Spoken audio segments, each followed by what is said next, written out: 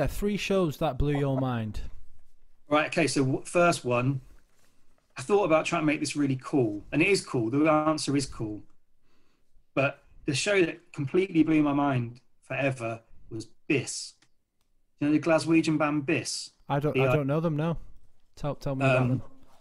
They got on top of the pops. They were a they were a, a, a like a brief indie sort of sensation. Not brief. That's not fair on them. They they ended up on Grand Royal, the Beastie Boys label, but they did a tour really early on, and it went through all the kind of toilet venues of the UK, and it was them and the mm. Super Furry Animals, and this so this would have been 1996 maybe.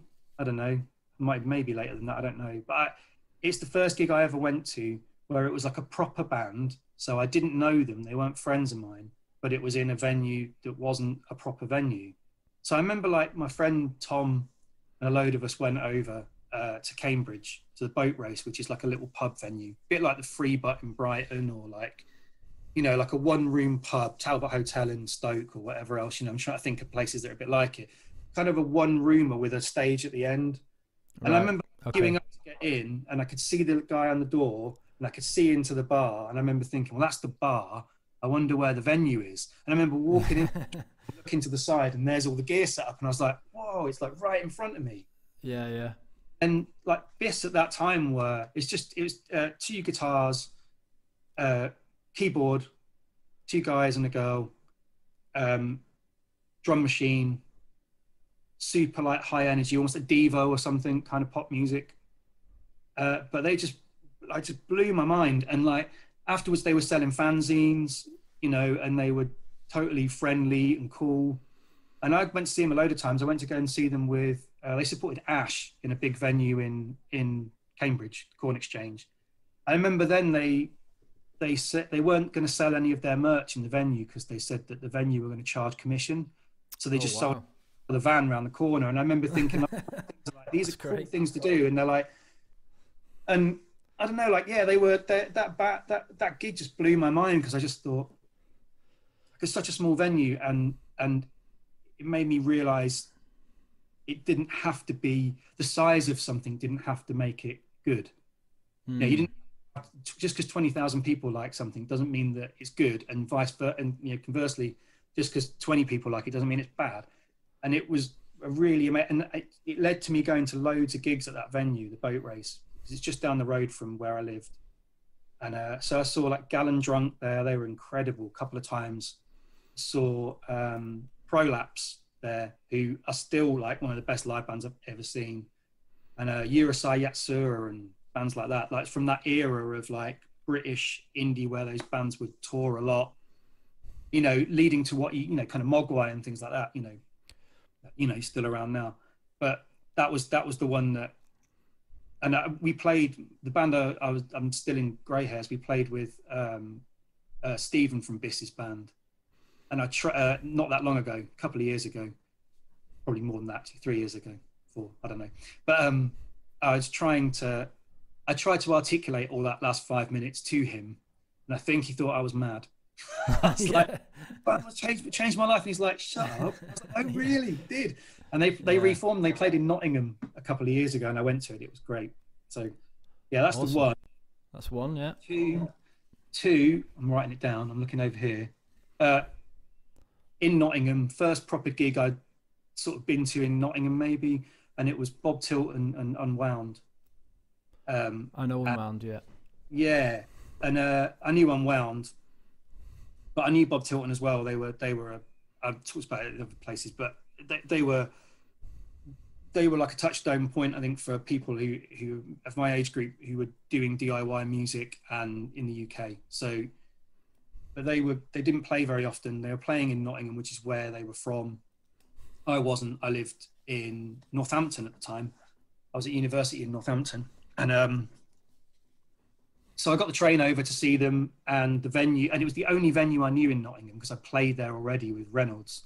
So I knew how to get there, and I went with my girlfriend, and we got off the train, walked to the venue, and the venue was shut. It was all boarded up, and everything was just like, like it was like, did I imagine this gig was even happening? What?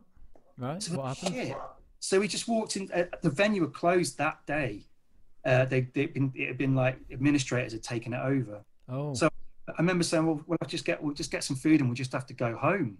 So we walked into the market square in, in Nottingham, and I could hear Bob Tilton sound checking somewhere in the market square, oh. really loud from somewhere. Walked down this little alleyway, and all of the guys from Gringo Records who I'd already met were all in this cafe and they were waving, and it was in this bar in the just off the market square in Nottingham. So it was dead exciting anyway. Like just to ha- to have this weird, oh no, I'm not going to see it. Oh yes, I am kind of thing. And then it's in this tiny little venue um, called Double Bubble. Where lots of bands have played over the years. I think, like you know, Nice name. yeah. Well, I think I don't think it was always called that, but I know like Scream played there, DC band when Dave Grohl was drumming for them. Scream played there in the '80s. Oh yeah, yeah, I remember them. So Yeah. it's, it's kind of a ven- it's a venue, but it was a weird old place. Uh, yeah, but Bob Tilton was just like, it's still the best gig I've ever seen, and you know, some of those people in that band are my best. I would class as my best friends, you know now. But so it's embarrassing to say that your best friends did the best gig you've ever seen, but it was like, it was incredible. And then I kind of remember Unwound afterwards, even though I'm a huge Unwound fan. Kind of remember them playing, but I don't.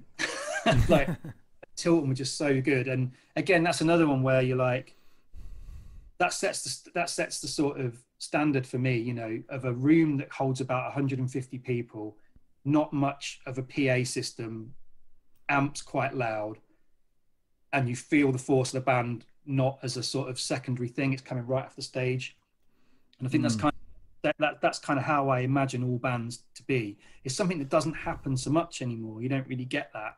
I don't find, but they were they were on it. And then I tried to talk. I remember trying to talk to them afterwards. I remember trying to be like, "Oh, that was amazing," and they were just these like super cool, aloof guys afterwards as well, which made it even better. They're not that, but I kind of took that away from it.